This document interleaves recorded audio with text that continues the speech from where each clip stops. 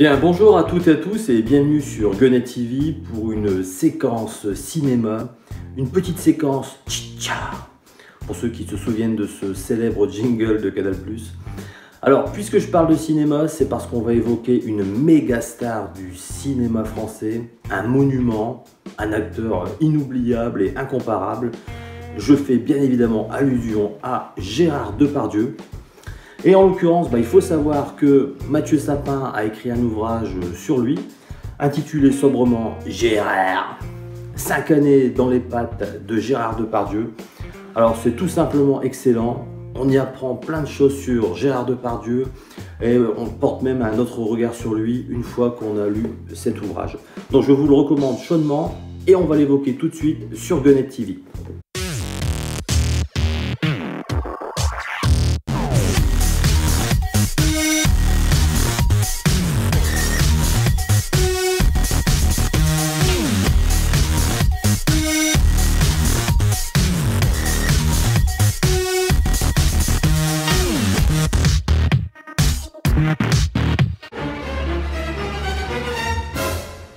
City,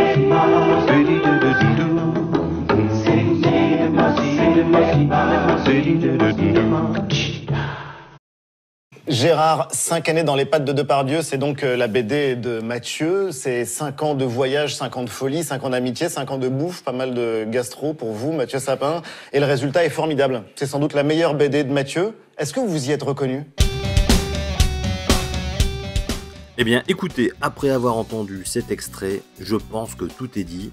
C'est assurément l'une des meilleures bandes dessinées de Mathieu Sapin. Alors, ceux qui avaient apprécié euh, Le Château, qui racontait une tranche de vie de François Hollande, vue par le prisme d'un auteur de bande dessinée, en l'occurrence bah, Mathieu Sapin, euh, pourraient s'attendre effectivement à quelque chose de, similaire. C'était un peu pardon, mon état d'esprit quand j'ai parcouru cette bande dessinée en me disant bon voilà ça va peut-être être un petit peu ronronnant parce que j'avais trouvé le, bah, le château un petit peu ronronnant, mais je pense que c'est dû aussi à la personnalité de François Hollande qui était plutôt dans, la réserve et euh, euh à mille lieues euh, du personnage de Gérard Depardieu. Parce que c'est un petit peu, je le reproche qu'on peut faire à cette bande dessinée, c'est que Gérard Depardieu écrase littéralement cette bande dessinée par sa présence, par ses, actions, ses, ses délires, puisque bah, effectivement c'est un personnage hors norme un acteur immense bien évidemment, euh, et qui là bah, emmène Mathieu Sapin en Azerbaïdjan, euh, en Russie, au Portugal, enfin aux quatre coins de, l'Europe, toujours dans, sa démesure. Donc Mathieu Sapin raconte des anecdotes complètement truculentes, hein. je vais pas, vais pas les narrer ici parce que je ne veux pas non plus dévoiler euh, tout ce qui fait le sel de ce livre.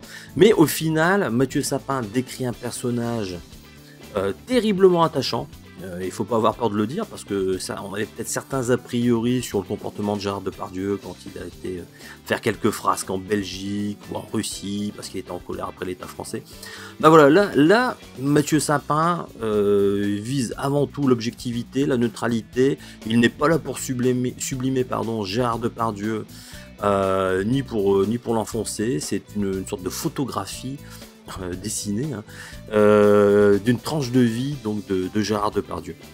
Donc euh, un livre objectivement sublime. Mathieu Sapin est terriblement efficace dans son dans son dessin et dans sa narration. Il n'hésite pas à rajouter plein d'anecdotes, des petits hors-textes pour nous expliquer le, contexte dans, lequel il se trouve au moment où il dessine cette, histoire. Voilà, en tout état de cause, bah écoutez, c'est une très très belle bande dessinée que je vous recommande chaudement. Vous prendrez sans doute beaucoup de plaisir à, la découvrir. Même si vous n'êtes pas spécialement fan de Depardieu, bah écoutez, ça reste une, aventure, hein, parce que tout ce que fait Gérard Depardieu, c'est de l'aventure. Et, et, ma foi, bah écoutez, ça vaut le coup d'œil. En tout état de cause, bah écoutez, je vous souhaite à toutes et à tous une très bonne continuation et à très bientôt sur Gunnet TV. Thank you.